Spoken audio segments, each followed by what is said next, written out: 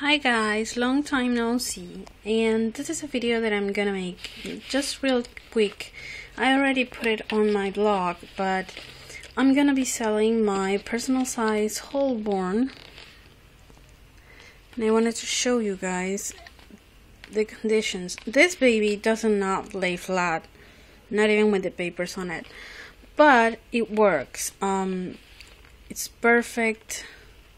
A pocket there the credit cards, the bucket here, the bucket here, the zipper. It works amazingly and the rings are gorgeous. I love this baby, but I I actually down to the last part of my savings and I need the money, so I'm selling this baby and my Aston.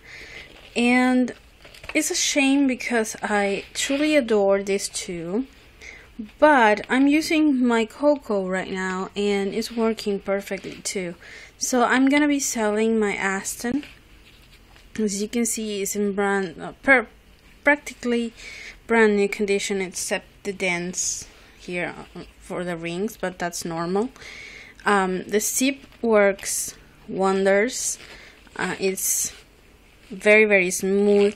I'm doing this with one hand so you can figure but um, the rings are perfect too. I have pictures of this in my blog, so if you want to see, and the prices are there too. Of, of course, I can uh, I can talk about it, but I really need the money, so I'm gonna be selling this too, and they're not gonna be just the binders, because I do have um, Dodo Pad inserts for 2013 as you can see.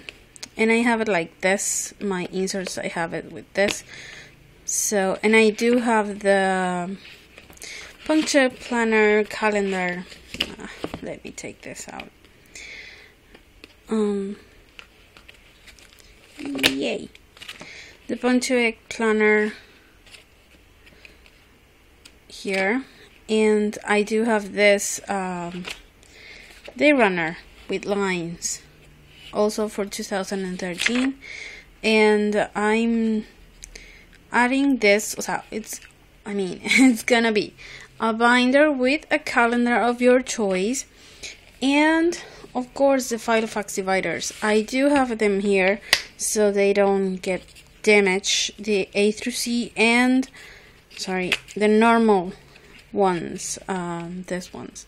That is diary notes projects information financial address.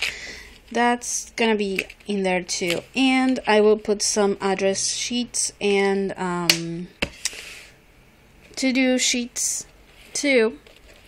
So you will have uh, almost a new uh, well packed Filofax okay so that's what I wanted to show you and the information will be in my blog my blog will be down below. So again it's a shame.